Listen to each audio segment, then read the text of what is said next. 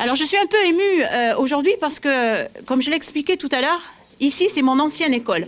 J'ai été euh, à l'école euh, communale, donc de Saint-Lazare, puisqu'à l'époque c'était aussi. enfin, moi je suis allée quand c'était la commune du Lardin Saint-Lazare, mais pour nous c'est toujours Saint-Lazare. Et donc ici c'était l'école des petits, donc petite section, CE1, CE2. Et là-bas où, est le, musée, vous allez visiter tout à l'heure, c'était les classes de CM1, CM2. Voilà, donc je, vous comprendrez que pour moi c'est un petit, voilà, c'est un clin d'œil aujourd'hui. Alors, c'est en grande partie donc grâce à l'industrie que notre commune s'est émancipée au fil du temps. Grâce à des hommes qui ont cru au potentiel du lieu et aux gens qui la peuplaient. Tout d'abord, sur la commune de Saint-Lazare, il y eut Cyprien Brard, qui fut élève à l'école des mines de 1804 à 1805. En 1815, il devient concessionnaire des houillères du département de la Dordogne il quitte la Haute-Savoie pour la commune de Saint-Lazare. En 1816, il fonde la Compagnie des houilles du Lardin de Royer et Brard. De Royer est administrateur et Brard assume les fonctions de directeur de la mine et caissier. La suite, vous la découvrirez dans le musée. Cependant, Cyprien Brard mourut le 28 novembre 1838 et est enterré au cimetière de Saint-Lazare juste à côté. Puis l'histoire continue avec le petit village de Bersac, qui ne cessera de s'émanciper au fil du temps pour devenir le Lardin Saint-Lazare, commune aux portes du Périgord noir, appelée aujourd'hui la Cité du Papier. L'histoire du Lardin Saint-Lazare peut se résumer en quelques dates. 1906, séparation de Beauregard et Bersac. Bersac devient autonome. En 1907, M. Gillet décide d'implanter une usine d'extrait tanin en Dordogne, où les châtaigniers sont nombreux, et choisit le Lardin, qui était alors, alors un petit hameau. En 1920, la société des produits Gillet et Fils devient Progil, pour produits Gillet. Et c'est ce nom que l'on retiendra pendant des décennies. En 1922, devant l'expansion du Lardin, grâce au développement de Progil, le Lardin devient plus important que Bersac. Le conseil municipal demande à l'administration de faire le nécessaire pour que la commune change de nom et devienne le Lardin. En 1923, Progil décide de faire la fabrication de la cellulose à partir du bois de châtaignier. C'est la première usine productrice de pâte à papier à partir de feuillus français. En 1962, Progil devient la société anonyme des papeteries de Condat, propriété de Pricel, holding familial du groupe Gilet. Et le 14 avril 1963, la machine 4 est installée, machine qui produit encore aujourd'hui. Ce qui entraînera une expansion de la ville du Lardin et de ses services. Et ainsi, le 1er mai 1967, Saint-Lazare sera rattaché au Lardin et la commune deviendra le Lardin Saint-Lazare. Ces quelques bribes d'histoire vous montrent à quel point l'industrie a joué et joue un rôle déterminant dans le, développement de la cité. Les élèves du CM2 de Madame Bory l'ont bien compris et ils ont décidé de participer au premier budget participatif du conseil départemental en 2020 afin de créer un musée de l'industrie. Ils ont bien fait, car ils ont été lauréats et se sont vus attribuer la somme de 20 387 euros qu'ils ont bien utilisés. Nous sommes donc aujourd'hui réunis pour inaugurer ce musée de l'industrie. Avant de laisser la parole à Madame Bourri, je tiens à la remercier particulièrement pour tout le travail accompli, ainsi que les élèves sans oublier les habitants qui ont participé à cette réalisation et les services techniques municipaux qui ont transformé la salle de vote en musée. Il ne nous reste plus qu'à continuer à le faire vivre, voire à l'agrandir. J'en profite également pour remercier l'ensemble des acteurs de la vie économique de notre commune qui, au fil du temps, ont participé à son développement, ouvriers, artisans, commerçants et dirigeants. Merci à tous.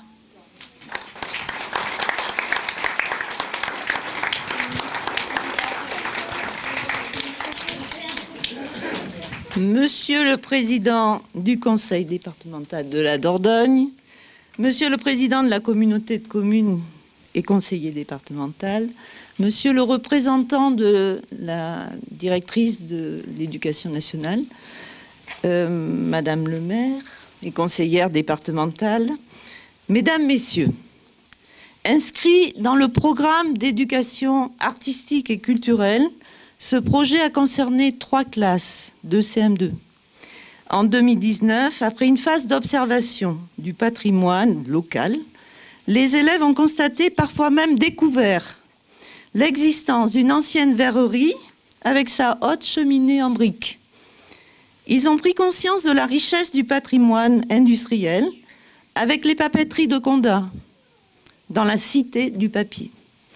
Créer un musée de l'industrie est devenu alors une évidence, d'autant plus que notre école porte le nom de Cyprien Brard, premier grand industriel au Lardin.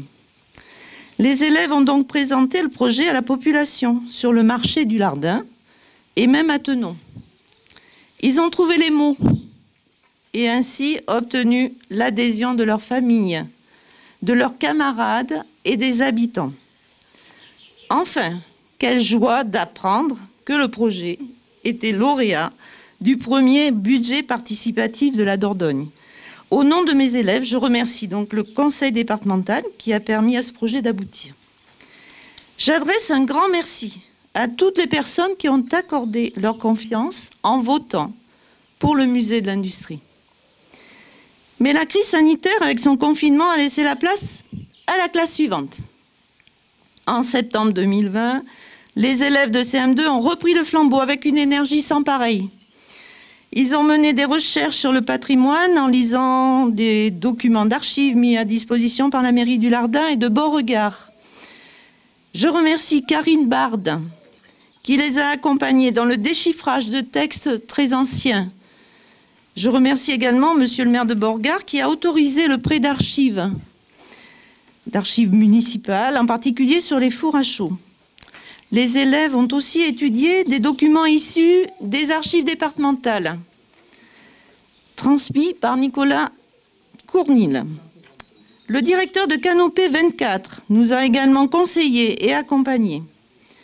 Ensuite, les élèves ont écrit plusieurs lettres, dont une adressée à monsieur le directeur de Conda, que je remercie vivement pour son soutien. Conda est un précieux partenaire, bien sûr. J'adresse également tous mes remerciements au directeur de la société Actenium et au directeur de la société SL Métallurgie du Lardin. J'espère pouvoir compter par la suite sur l'ensemble des sociétés du secteur. Alors, en classe, puisqu'il faut revenir à la classe, les élèves ont recherché la chronologie de l'histoire de l'industrie et ainsi créé une frise numérique sur les inventions du 19e siècle. Ils ont préparé un questionnaire sur la verrerie et les papeteries, questionnaire destiné aux personnes qui pouvaient raconter leur vécu. Je remercie tout particulièrement Annette Reynaud, Raymond Patonnier, Lucien Cournil et Guy Rougerie. Je remercie également Daniel Mazin qui a filmé les témoignages et qui m'a aidé pour la partie technique. Évidemment, le numérique bouscule l'école et l'industrie certainement. Et la programmation robotique fait partie du programme de cycle 3. Dans le cadre de la liaison école-collège, Frédéric Bonnefond, professeur au collège de Terrasson, a programmé le robot avec des collégiens. Et il est venu dans la classe de CM2 pour expliquer cette programmation et faire manipuler les élèves. Il s'est investi dans l'installation de l'imprimante 3D. Je le remercie, bien sûr. L'école des sciences de Bergerac m'a elle aussi accompagné dans cette aventure. Je remercie particulièrement une collégienne, Anaëlle Piala, pour son dessin des enfants dans les mines. Vous le verrez dans le musée. Madame Blondel de Cublac m'a apporté de nombreux documents et l'an dernier, elle a accompagné la classe sur le sentier des mines de Cublac, les mines de Cublac étant très très proches des mines du Lardin, bien sûr. De nombreuses personnes nous ont aidés, en particulier Henri Delage, Patrick Chouzenou, Francis Leroux, Jean-Pierre Jacquet. Merci aussi à Samuel Brandt, le verrier du Lardin, car nous avons un verrier. À Claire Grousset, artiste peintre. Et au club de philatélie du Lardin Saint-Lazare. Le musée veut évoluer et s'étoffer avec d'autres documents, d'autres témoignages ou des objets issus de la population. Nous leur trouverons une place, puisqu'on va peut-être agrandir, pour les mettre en valeur. De nombreux habitants ont déjà donné ou prêté des documents, souvent très personnels. Merci à eux. Mon rôle, notre rôle, est d'exposer, préserver et partager notre patrimoine.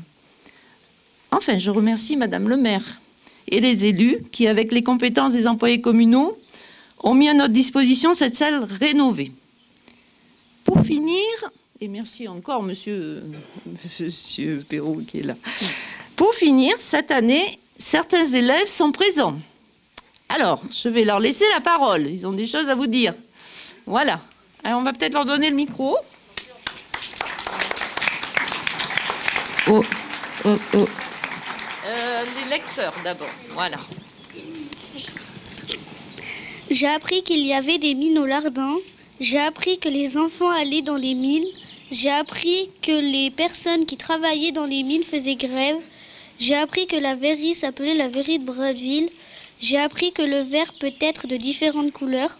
J'ai appris qu'il fallait beaucoup d'outils pour le verre. J'ai appris que les papeteries existent depuis très longtemps. J'ai appris que pour faire du papier, il faut de grandes machines spéciales. Nous avons lu en classe l'exploit de Gustave Eiffel, de Hélène Montarde, et nous avons appris qu'il faut déposer un brevet pour une invention. Nous avons imaginé des machines, des machines à téléportation, des machines à clones, des machines à dépolluer. Nous avons trouvé des, des images sur l'art et l'industrie, des images avec un droit d'usage, licence Creative Commons. Nous avons appris à réaliser une sculpture comme, celle de Cyprien Brard avec l'aide de Claire Brousset. L'artiste est peintre au lardin. Nous avons fait un débat sur le progrès. Et enfin, nous avons appris les chansons, les corons, les mains d'or, les petits papiers et une poésie de Victor Hugo, Mélancolia. Mélancolia. Où vont tous ces enfants n'ont pas un seul neuri Ces douze êtres pensifs que la fièvre maigrit. Ces filles de huit ans qu'on voit cheminer seules. Ils s'en vont travailler 15 heures sous des meules. Ils vont de l'aube au soir faire éternellement dans la même prison le même mouvement. Accroupis sous les dents d'une machine sombre, monstre et deux qui mâchent on ne sait quoi dans l'ombre, innocent dans un bagne, ange dans un enfer, ils travaillent. Tout est d'airain, tout est de fer. Jamais on ne s'arrête et jamais on ne joue. Aussi quelle pâleur, la sonde est sur leurs joues, il fait à peine jour, ils sont déjà bien là. Ils ne comprennent rien à leur destin, hélas. Victor Hugo.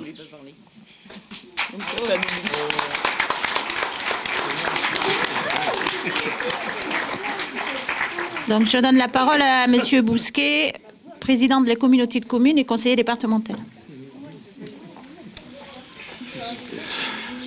Monsieur le président du, département, Madame le maire et conseiller départemental, Madame la directrice, chers collègues maires, conseillers départementaux et euh, l'ensemble des administrations, donc l'inspection d'académie, les euh, cadres des papeteries, l'ensemble de tous ceux qui ont travaillé dans, dans cette entreprise, chers amis. Donc, Monsieur le Président, je je pense que ce musée et cette inauguration aujourd'hui est très symbolique euh, de la ville du Lardin. Francine, tu as donc euh, rappelé toute l'histoire industrielle de la cité du papier. Nous sommes, cher Germinal, dans un département euh, qui a toute une racine, même au-delà du, du Lardin, industriel. Euh, Monsieur Brard était, tu l'as dit, responsable des houillères de la Dordogne. Alors ça paraît bizarre de le dire, mais notre département était le deuxième département sidérurgique de France il y a un, siècle. Donc c'est la fameuse route des canons. C'est et pourquoi? C'est parce qu'il y avait du charbon, du charbon de bois, il y avait la forêt, il y avait de l'eau, il y avait du minerai de fer. Donc il y avait tout ça qui ont fait de notre département un département sidérurgique qui alimentait, alors c'est pas trop aujourd'hui d'actualité de le dire, hein, les, canons hein, qui traversaient hein, l'ancien canton de Tenon, qui allaient jusqu'à Paysac-le-Moustier, messieurs les conseillers départementaux de ce canton, et de Paysac-le-Moustier, ça partait sur des gabarres jusqu'à Rochefort, qui donc alimentait les armées de l'époque. Donc je voudrais euh, très officiellement, donc je peux faire un peu d'humour en disant que tout le monde sait que je suis dans l'opposition et que l'opposition, son terme, elle est là pour s'opposer. Mais ça ne m'empêche pas de te remercier et de travailler très souvent avec toi et de te remercier d'ailleurs pour tout ce que tu as fait pour le Lardin. Nous avons travaillé ensemble. Alors, il y a l'histoire de cette euh, industrie qui nous marque tous, mais il y a le présent et il y a l'avenir. Et le présent, il a fallu euh, beaucoup euh, travaillé ensemble et on a été nombreux, mais tu as été un des artisans fondamentaux, euh, de, de, essayer de donner un avenir aux papeteries et très officiellement, je voudrais t'en remercier. Souvent, on prenait le train, ou pas souvent l'avion, mais le train, tard le soir, pour se retrouver à Paris pour défendre ce dossier. Alors aujourd'hui, la machine euh, et euh, a été transformé. On fait du, papier adhésif. Il y a encore la chaudière qui doit être faite pour produire l'énergie. Et euh, c'est totalement d'actualité car vous le savez tous, l'énergie, les prix ont été multipliés, on n'ose pas dire par le nombre. Et aujourd'hui, c'est compliqué pour les papeteries où un des postes les plus importants de dépenses, c'est la production d'énergie. Donc merci pour tout ce que tu as fait. Et euh, là aussi, sans être trop long, il y a un certain nombre de dossiers hein, que nous avons votés à tes côtés, même contrairement des fois à mes amis d'opposition. Euh, c'est euh, la foncière commerciale, c'est l'établissement public foncier, car tu as un engagement dans l'économie important et nous partageons avec toi que pour redistribuer, que pour faire du social, que pour aider la population, ben, il faut créer un certain nombre de, richesses. Et ici, euh, le Lardin en est, la preuve. Ensuite, c'est aussi assez caractéristique ce, musée et cette inauguration par rapport à la jeunesse, euh, qui doit connaître son passé, qui doit connaître son histoire, mais qui demain aussi, on doit, et euh, Madame la vice-présidente à l'économie, vous y travaillez beaucoup au sein de la communauté de communes, c'est remettre en phase euh, la jeunesse et le monde de l'industrie.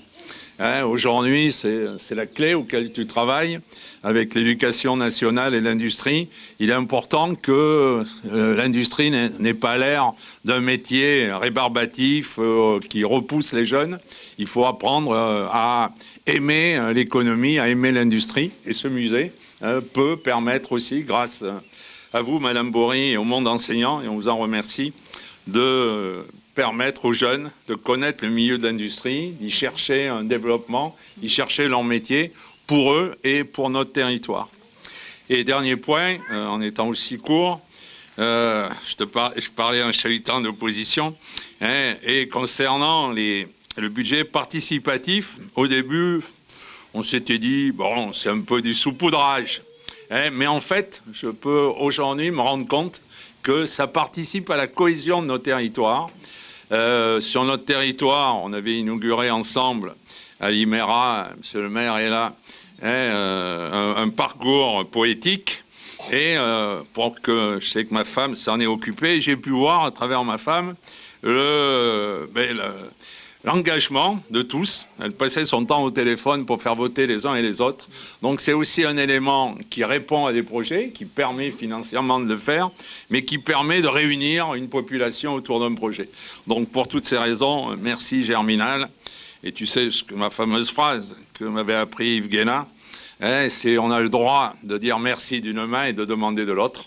Donc, t'inquiète pas, on continuera à demander pour notre territoire. Merci à l'avance. Bon, Germinal, tu as le droit de répondre. Bien, mesdames, messieurs, bonjour à, bonjour à vous tous. Je,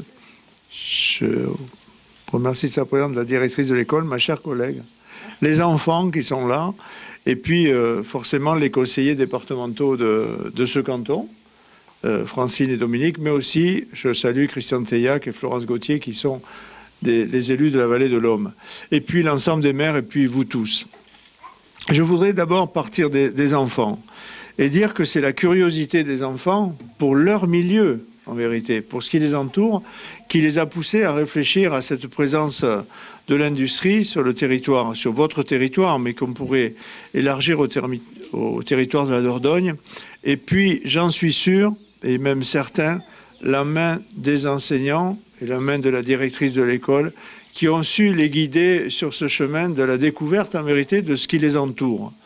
Et très souvent, on oublie ce qui nous entoure et on oublie notre propre, milieu. Mais à partir de l'étude du milieu, j'étais moi-même instituteur, eh bien, on peut faire mille choses. Mille choses.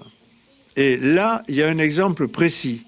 À partir de ce qui est le cadre de vie, à partir de ce qui entoure la vie des, enfants dans une école, eh bien, on peut tout faire. On peut faire des recherches d'histoire, on peut faire des, recherches de géographie, on peut étudier les mathématiques, on peut étudier la littérature et la poésie comme ils l'ont fait. Et puis on peut avoir des idées formidables. L'idée de faire un musée, c'est une idée très généreuse parce qu'en vérité, qu'est-ce qu'ils ont voulu faire les enfants? C'est s'approprier une connaissance et la montrer et la montrer aux autres. Et puis, ce qui m'intéresse beaucoup dans ce qu'ils ont dit, c'est qu'ils réfléchissent à l'avenir. Je ne sais pas si vous a écouté sur, sur quoi ils ont travaillé après. Ils ont travaillé sur deux sujets qui m'intéressent au plus haut point. C'est le clonage, qui me permettrait d'être euh, dans plusieurs endroits de la Dordogne euh, à la fois. Et dans un grand département avec 500 communes, ça serait très pratique. Mais je ne sais pas si vous avez entendu, ils ont aussi parlé, ils ont travaillé sur la téléportation. Ce qui fait que nous pourrions être là, aujourd'hui, au Lardin, et nous retrouver euh, aux Maldives sous les cocotiers euh, dans, une minute. Et ça, c'est vraiment des projets, c'est vraiment des projets d'avenir. alors, alors j'ai promis de ne pas parler des élections, mais Dominique me, me pousse. il y a aussi l'hologramme. Mais la téléportation, c'est beaucoup mieux. Parce que vous pourriez vivre des expériences dans la même journée, des expériences totalement différentes. Donc les enfants, continuez à travailler et dépêchez-vous, parce que si je pouvais, avant la fin de ma vie, vivre des expériences de téléportation, je suis particulièrement, particulièrement intéressé. Sérieusement, euh, je vous assure que je suis vraiment heureux de venir ici. Il n'y a que cette petite fille qui n'est pas contente, là. mais sinon les autres, euh, les autres le sont. Je suis vraiment heureux d'être ici parce que je vois quelle est l'intelligence des jeunes et quel est leur esprit créatif. Et c'est le pari que nous avions fait en proposant à l'Assemblée départementale le budget participatif au niveau du département. Dominique, il n'y a pas que dans l'opposition qu'il y avait des gens, qu'il y avait des gens sceptiques. Il y a aussi dans la majorité des gens qui disaient mais qu'est-ce que c'est cette histoire? Et puis en plus, c'est les élus qui réfléchissent au territoire et à son développement. C'est les élus qui ont les idées. Tout le monde le sait, on est les plus intelligents.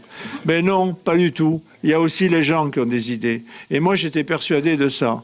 Et si on leur offrait la possibilité d'exprimer leurs idées, et d'inventer, eh bien, les choses allaient marcher. Et ça a marché au-delà de nos, au-delà de nos espérances, puisque dès la première année, on a eu 5 à 600 projets qui, sont, qui ont été déposés. On en a retenu 350, et dans ces 350, il a fallu faire un tri.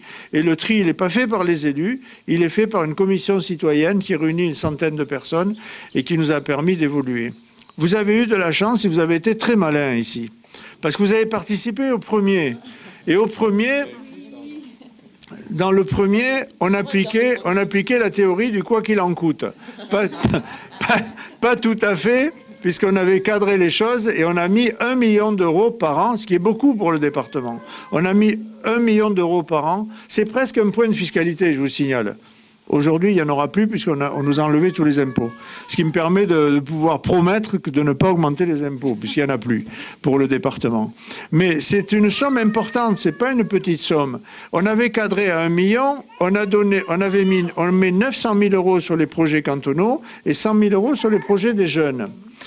Mais euh, on avait visé très haut puisque le maximum c'était 36 000 euros qu'on pouvait donner, puisqu'on avait prévu un projet par canton. Et vous, vous en avez profité puisque vous avez eu plus de 20 000 euros.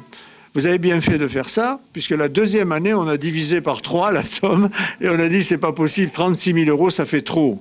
Pour une association, c'est beaucoup, 36 000 euros. Vous vous rendez compte ce que c'est? Et puis, on a eu des cas un peu. On a eu un cas un peu scabreux qui nous a, voulu, qui nous a valu quelques critiques acerbes. Donc, on, a, on a divisé par trois. Ce qui fait qu'aujourd'hui, il y a trois projets par canton primés chaque année puisqu'on a mis un plafond à 12 000 euros. Et il y a 25 cantons, donc il y a au moins 75 cantons qui sortent par an à partir de la deuxième année euh, dans notre département, plus les projets jeunes plus des projets qui sont retenus au classement Scratch. Le classement Scratch, c'est quoi? C'est comme en course automobile, c'est ceux qui ont eu le plus de voix au niveau départemental. On prend les trois premiers par canton et après on prend les suivants qui ont obtenu le, le plus de voix. Donc je crois que la formule, elle marche et on va la continuer. Elle a été perturbée par le Covid, mais cette année, nous reprenons le cours normal. C'est-à-dire que euh, l'appel a été lancé pour les projets. Les votes auront lieu à l'automne et ils auront lieu dans les mairies. Je ne sais pas si vous vous souvenez, mais la première année, on avait mis une urne bleue dans chacune des mairies et on va reprendre ce mode de vote en plus du mode, euh, du mode électronique. Mais je crois que cette formule, cette formule fonctionne. Pour en revenir au projet de musée sur l'industrie, on dit souvent que la Dordogne, c'est un, département agricole, c'est un département touristique. Et on oublie de dire quelque chose d'essentiel. La Dordogne, c'est un département industriel. Et je peux vous assurer qu'aux quatre coins du département, parce qu'on peut partir d'Hermès à Nontron, hein, avec 400 employés, on peut partir de Répéto, on peut passer par la Socate, on peut passer ici, on peut aller à Sarlave et Suturex, qui est la troisième usine au monde qui fabrique des aiguilles chirurgicales. On peut aller à la FED qui fait des plaques électroniques. On peut aller à KSB à Saint-Olé qui fait des vannes. Il y a 470 personnes qui fabriquent des vannes. On dit à quoi ça sert les vannes? Ben, C'est des vannes soit toutes petites, soit très grandes, de 3 mètres de diamètre, qui servent à réguler les flux de liquide, ça peut être de l'eau, ça peut être du pétrole, ça peut être du gaz, etc., etc. Et je pourrais comme ça multiplier les exemples. Il y a un tas de pépites industrielles dans ce département et on est un département industriel et il est normal que les élus de nous sommes quand il y a des difficultés, comme ça a été le cas à Conda, Dominique Bousquet l'a rappelé, eh bien les élus, au-delà de toutes les, les, les tendances politiques, se réunissent pour sauver l'emploi. Parce que derrière l'industrie, il y a, forcément la vie d'un pays. Et si on le ramène au niveau national, on ne peut que regretter la désindustrialisation qui a frappé notre pays au cours des dernières décennies. J'accuse personne, mais c'est comme ça. Il a fallu la crise du Covid pour qu'on s'aperçoive qu'on ne fabriquait pas de doliprane en France. Ça paraît très curieux. Mais on ne fabrique pas de machines-outils en France non plus. Demandez aux artisans. Il y a tout un tas de choses qu'on ne fait plus et qu'on a abandonnées en se disant ça sera fait ailleurs, ça sera moins cher, la main-d'œuvre est moins chère, donc on va y gagner. Et puis on se rend compte que quand il y a une situation de crise comme aujourd'hui, qu'on croyait peut-être oublier, eh bien, notre, ce qui peut nous aider à nous maintenir, c'est le fait d'arriver à assurer la production de biens essentiels. Et c'est vrai pour l'alimentation, et c'est vrai pour la production agricole, comme ça doit être vrai pour la production, pour la production industrielle. Donc le travail de ces enfants, il nous amène très loin. Il nous amène très très loin. Ils sont partis de leur milieu et ils nous permettent de repenser le monde de demain, le monde dans lequel ils vivront. Et pour ça, je veux dire bravo aux enfants et bravo aux enseignants, parce que sans les enseignants, il n'y aurait pas eu ce travail de fait. Merci à vous tous.